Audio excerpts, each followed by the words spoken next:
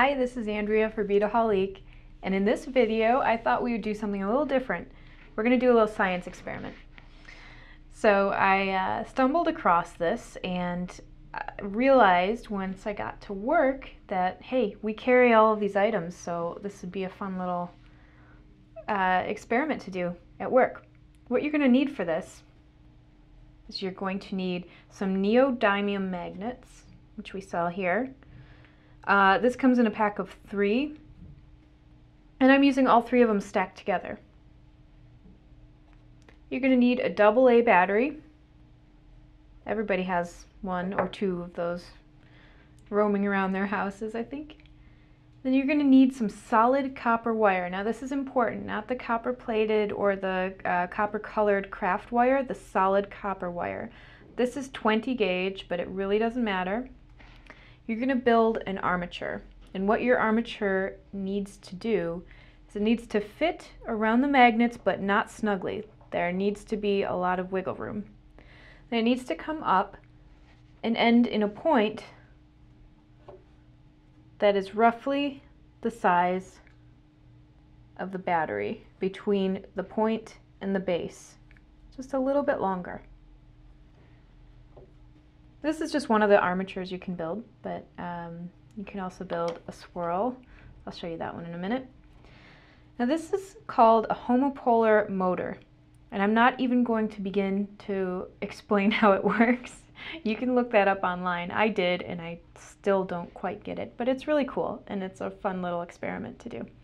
So what I'm going to do is I'm going to put the positive end of my battery whoop, right on the stack of neodymium magnets. Now a note about these magnets, they are super duper strong, so be careful with them. Always use adult supervision when you are using these magnets, and especially when you're building a motor because you are generating power. And what you're going to do here is you're going to take your armature,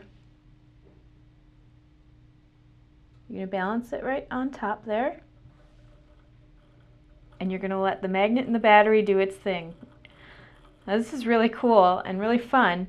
Um, if the battery is not, if the battery and magnet motor is not spinning the wire, there's still electricity being generated, so be very careful. If I was to hold this still and it was making a connection between the magnets and the battery, this wire would get very hot. But other than that, this is just so cool, I think, and so much fun. I also made a swirly armature. And this one, it, it's just going to take some practice to get it right, to get the balance right.